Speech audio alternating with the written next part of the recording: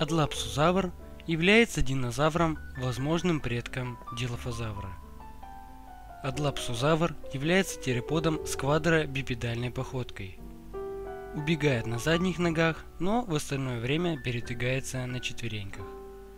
При этом существо передними лапами опирается на пальцы, как человекообразные обезьяны.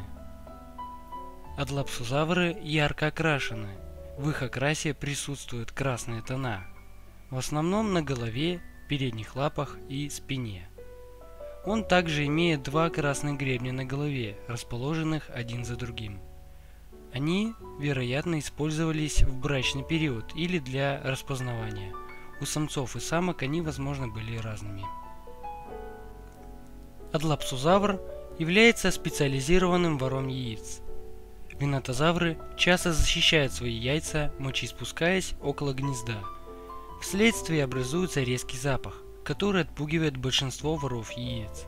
Но, к сожалению, для отчаянных самок винотозавра адлапсузавров фактически привлекает этот запах, потому что он им указывает на наличие еды. Адлапсузавр быстро выхватывает яйцо и убегает, чтобы съесть его, прежде чем вернутся разъяренные родители. Строение скелета и тела подобно юрскому тероподу дилофазавру.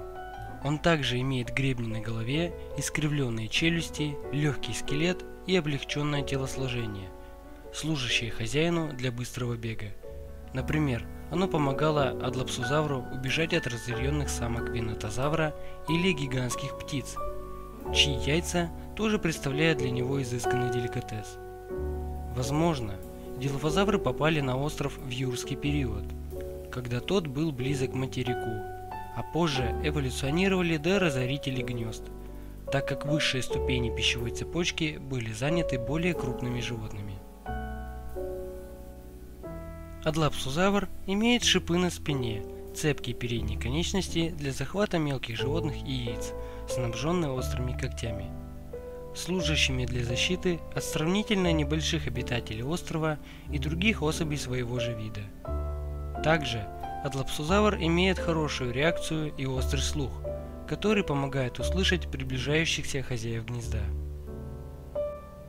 Адлапсузавр в длину достигал от 4 до 4,5 метров.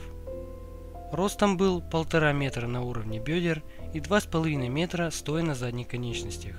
Весил при этом от 200 до 250 килограмм. Место обитания – джунгли и равнины острова Черепа.